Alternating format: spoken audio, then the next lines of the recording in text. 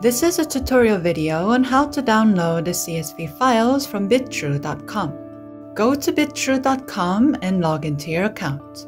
Click Assets in the upper right hand corner and click My Assets in the drop down menu. Click Export Asset Transaction History.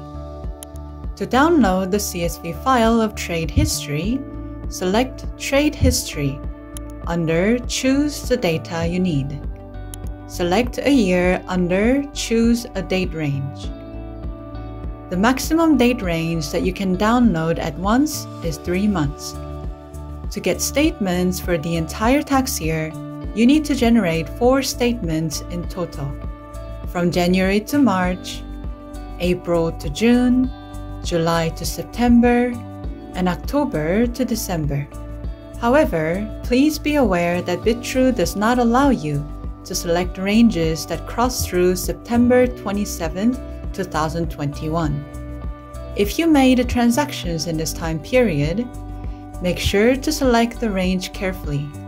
For example, if you made transactions between July 1st, 2021 to October 30th the same year, you will need to generate two separate statements, one from July 1st to September 26th, and then from September 27th to October 30th.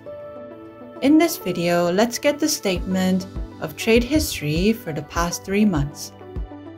Click OK and download the file.